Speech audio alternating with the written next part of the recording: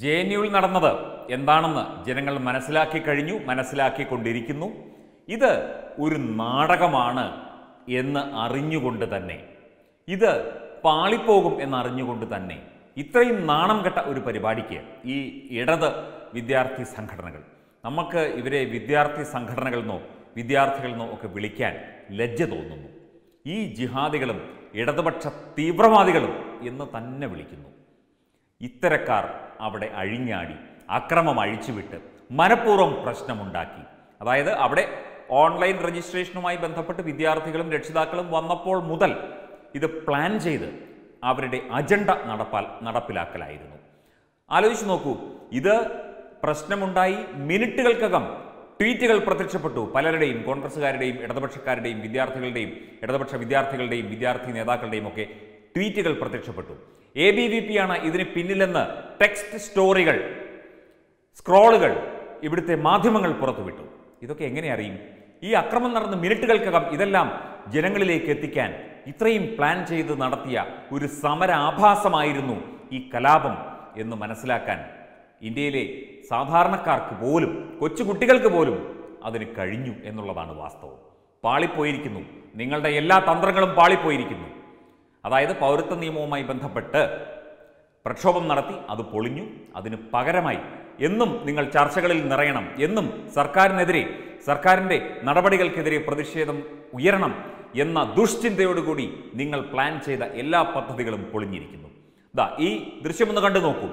ആ രജിസ്ട്രേഷന്റെ സമയത്ത് തന്നെ അവിടെ പ്രശ്നമുണ്ടാക്കാൻ ഈ ഈ വ്യക്തികൾ ശ്രമിച്ചുകൊണ്ടിരുന്നു. ഈ വിദ്യാർത്ഥികൾ ഈ വിദ്യാർത്ഥി രാക്ഷസന്മാരും രാക്ഷസികളും ശ്രമിച്ചുകൊണ്ടിരുന്നു എന്നത് ഇതിൽ നിന്ന് നമുക്ക് മനസ്സിലാക്കാം.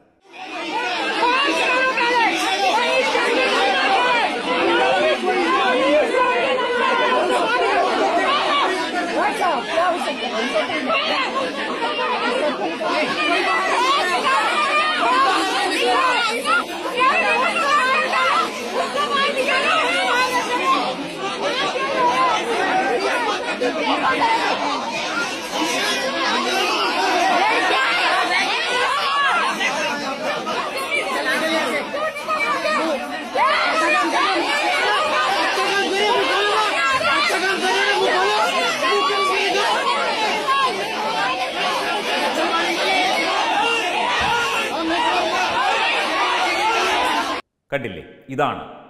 മനഃപൂർവം ഇത്രയും പ്ലാൻ ചെയ്ത് ഒരു കലാപവും ഒരു പ്രശ്നവും അഴിച്ചുവിടാൻ വേണ്ടി സൃഷ്ടിക്കാൻ വേണ്ടി ഇവർ കാട്ടിക്കൂട്ടിയ നാടകങ്ങളും സമരാഭാസങ്ങളും വൃത്തികേടുകളുമാണ് പുറത്തു വന്നുകൊണ്ടിരിക്കുന്നത്. ദൃശ്യങ്ങൾ കള്ളം പറയില്ലല്ലോ. നിങ്ങൾക്ക് ബുദ്ധിയില്ല അല്ലെങ്കിൽ നിങ്ങൾക്ക് തലയ്ക്കകത്ത് ആൾതാമസമില്ല എന്ന് കരുതി ഭാരതീയർക്ക് ഇന്ത്യയിലെ ജനങ്ങൾക്ക് അങ്ങനെയല്ല. അവർക്ക് കണ്ടാൽ കാര്യം മനസ്സിലാകും.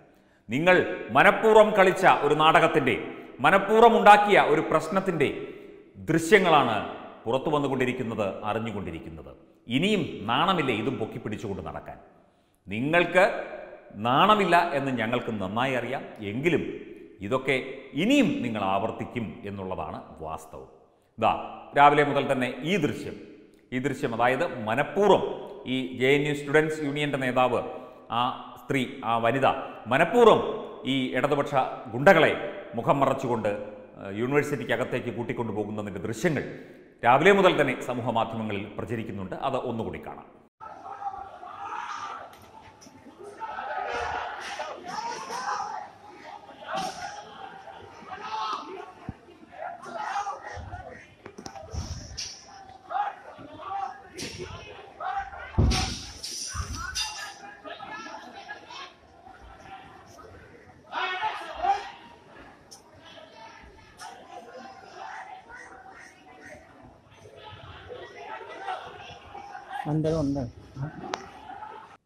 നിങ്ങൾ സർക്കാരിനെയും സർക്കാർ സംവിധാനങ്ങളെയും ഇവിടുത്തെ ഭരണകൂടത്തെയും ഒക്കെ മനഃപൂർവം കരിവാരിത്തേക്കാനുള്ള വിഫല ശ്രമമാണ് നടത്തിയത്. നിങ്ങൾ ഇനിയും ഇത്തരം വൃത്തികേടുകളും നാടകങ്ങളുമായി എത്തും എന്ന് എല്ലാവർക്കും അറിയാം. എങ്കിലും നിങ്ങൾ നാണവും മാനവുമില്ലാതെ ഇത് തുടർന്നുകൊണ്ടേയിരിക്കും. അതാണ് അതാണ് നിങ്ങളുടെ രീതി അതാണ് നിങ്ങളുടെ ധർമ്മം. രാജ്യദ്രോഹമാണ് നിങ്ങളുടെ ധർമ്മം. പക്ഷേ അതിവിടെ നടക്കില്ല വച്ചു പൊറിപ്പിക്കില്ല അതുകൂടി ഓർമ്മിച്ചുകൊള്ളൂ. Web desk Tatwamayi news.